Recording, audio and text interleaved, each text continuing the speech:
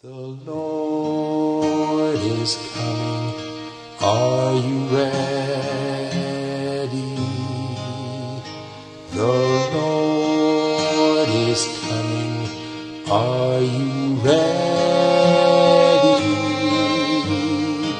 Would your heart be right if he came tonight? The Lord is coming. Are you ready? der Vergangenheit in die Augen geschaut.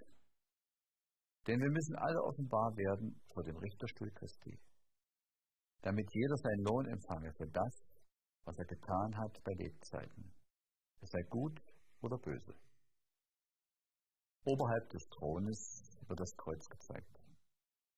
Wie in einem Rundbildpanorama erscheinen Adams Versuchung und Fall und die darauf folgenden Schritte im großen Erlösungsplan die Geburt des Heilands unter ärmlichen Verhältnissen, seine Kindheit in Einfachheit und Gehorsam, seine Taufe im Jordan, die Fastenzeit und Versuchung in der Wüste, sein öffentlicher Dienst, der den Menschen die kostbarsten Segnungen des Himmels eröffnete, die Tage, die mit Taten der Liebe und Barmherzigkeit angefüllt waren, die Nächte des Betens und Wachens, in der Einsamkeit der Berge, die Komplotte aus Neid, Hass und Bosheit geschmiedet, als Vergeltung für seine Wohltaten.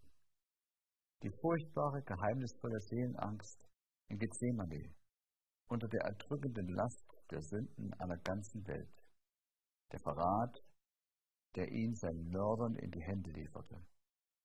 Die furchtbaren Ereignisse dieser Schreckensnacht. Der Gefangene, der keinen Widerstand leistet, von seinen ihm liebsten Jünger verlassen, brutal durch die Straßen Jerusalems gehetzt. Dann wird der Sohn Gottes mit Frohlocken vor Hannas in den Palast des Hohepriesters geschleppt, dann in die Gerichtshalle des Pilatus gebracht, dem feigen und grausamen Herodes vorgestellt, verspottet, beleidigt, gefoltert und zum Tod verurteilt.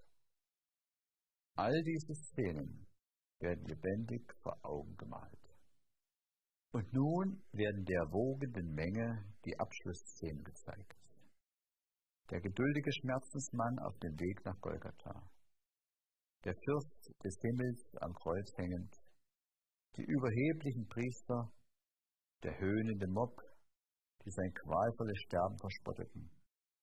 Die übernatürliche Finsternis, die bebende Erde, die gespaltenen Felsen, die offenen Gräber, die den Augenblick kennzeichneten, dem der Welterlöser sein Leben dahingab.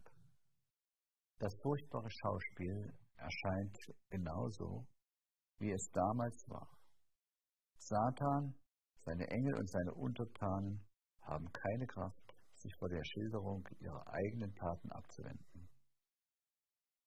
Jeder Mitwirkende wird sich seiner Rolle voll bewusst, die er gespielt hat. Alle sehen, wie enorm groß ihre Schuld ist. Vergeblich versuchen sie, sich vor der göttlichen Majestät seines Antlitzes zu verbergen, vor dem die Sonne verblasst, während die Erlösten ihre Kronen dem Heiland zu Füßen legen und rufen, er starb für mich.